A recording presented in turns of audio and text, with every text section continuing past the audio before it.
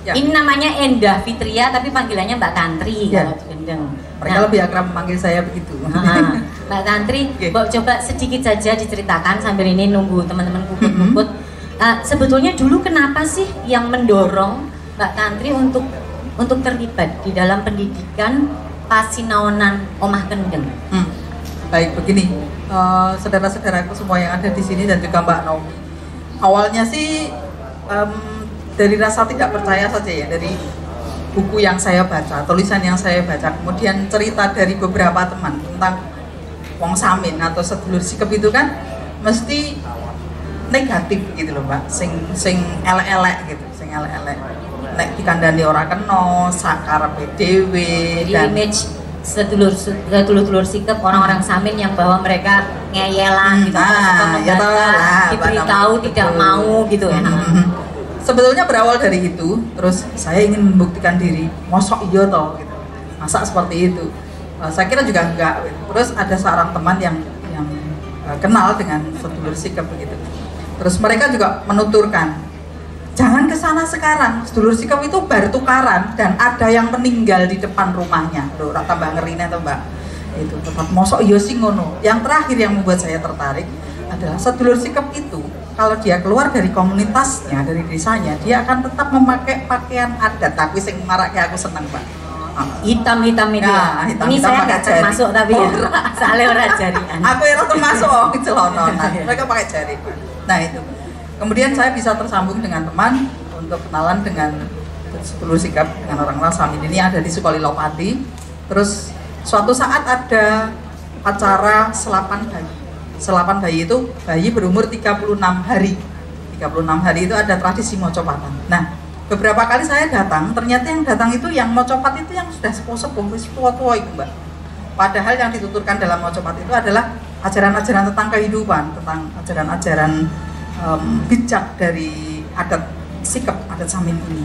Walah nek iki orang orang sing terus ya kalau tidak ada yang melanjutkan nanti bagaimana kok anak-anak tidak ada. Di saat saya menanyakan itu pada yang tua, ternyata anak-anak kurang respect terhadap mocopat ya mungkin karena apa perkembangan zaman ya mbak itu. Nah ada gamelan yang larase saonone gamelan usi larase saonone wis gapo rancane dan yang lain saya matur ke yang dituakan di seluruh sikap itu bagaimana kalau saya ngajari anak-anak untuk uh, bermain gamelan dan nanti di tengahnya diselipi mocopat biar mocopatan ini gak hilang. Oke. Nah, itu akhirnya saya diberi 12 anak untuk saya ajak untuk bermain gamelan di tengahnya Iya, iya, saya iya. selipi mocopatan itu dari 2011 sampai sekarang saya menjadi relawan karena saya tidak mau dibayar dalam mengajar anak-anak itu dari 2011 sampai 2019 Iya, iya. begitu mbak. Hmm. Semoga gaung gemanya suara para petani masih Iya. bisa terekam dan terus doa mengganggu. Mbak Naomi dan semua yang Kami di sini untuk dulur-dulur yang tetap memperhatikan lingkungan dan Ya. bekerja sebagai petani nek orang sing petani terus berhasil sepawon gitu Ya. Matur nuwun. Matur nuwun, ya. Mbak.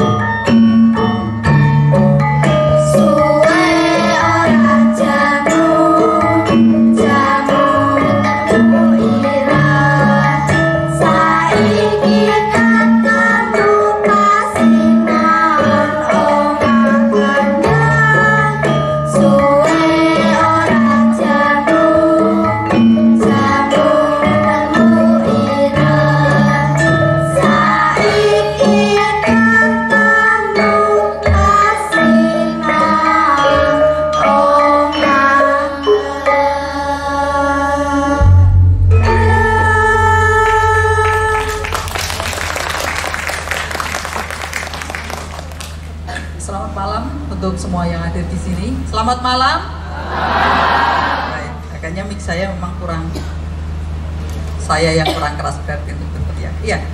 Eh, selamat malam, selamat ketemu dengan kami Pasinaon Omah Kendeng, salah satu dari 40 yang menerima hibah dari Cipta Media Ekspresi dalam programnya yang bekerja sama dengan Ford Foundation dan Wikimedia Indonesia.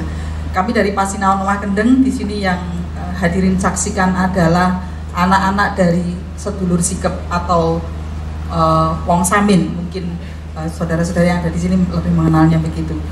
Mereka hidup sebagai seorang petani, bukan yang lain.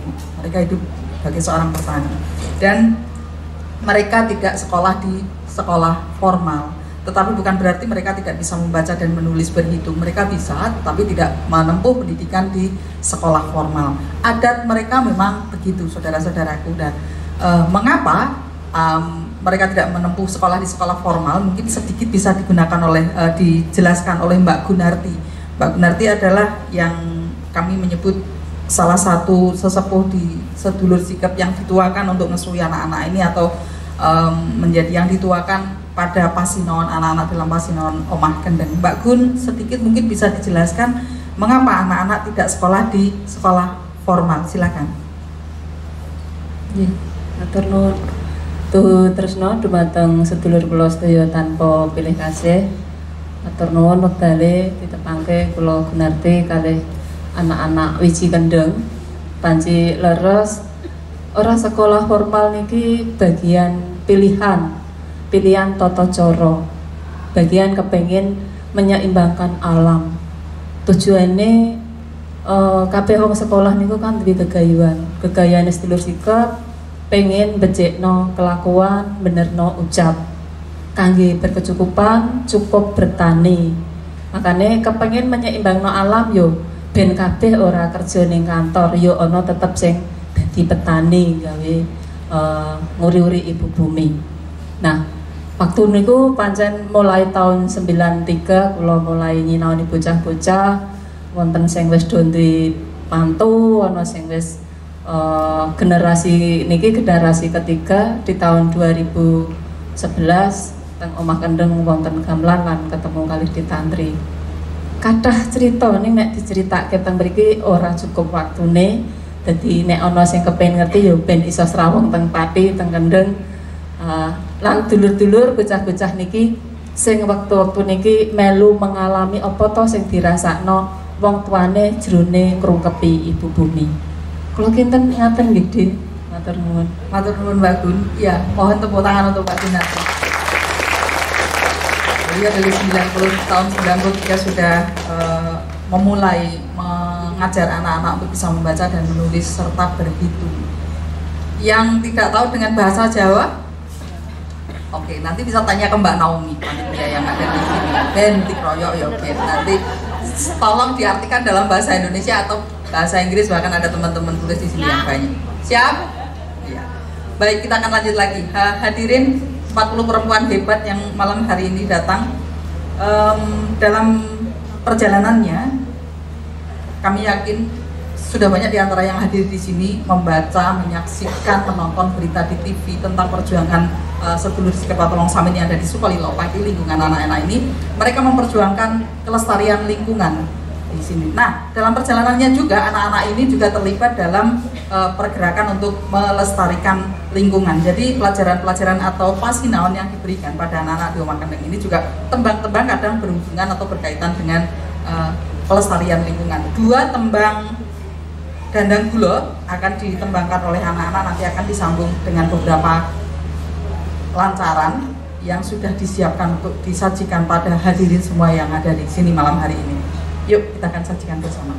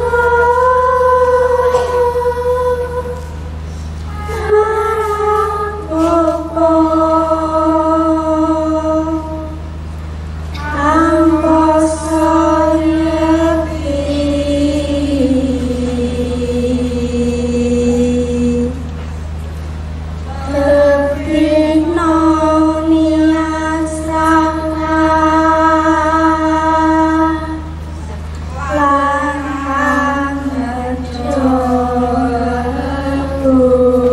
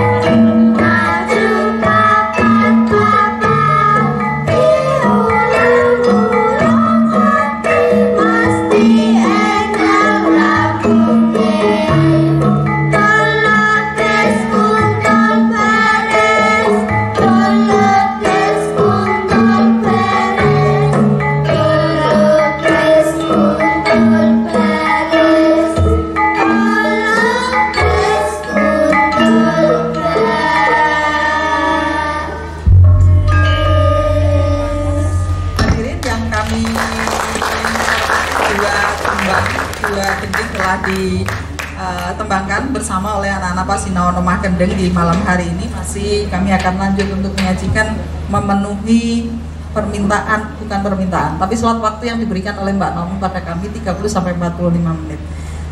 Bisa ya Mbak? Oh, isi. Nggih, monggo. Cah bocah-bocah hari ini napa? Rondo kampung. Rondo kampung nembangnya ping loro mawon. Yuk. Yang bisa ikut nyanyi silahkan, yang bisa ikut nembang silahkan ikut nembang. Mbak Keni, kae sing ning kono dalang lho, Cak.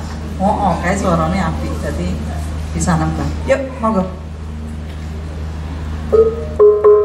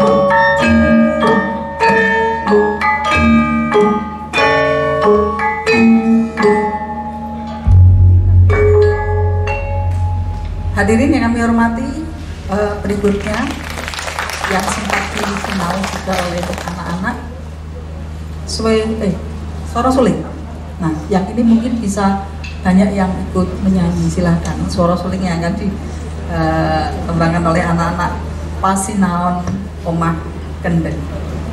Monggo dibuka.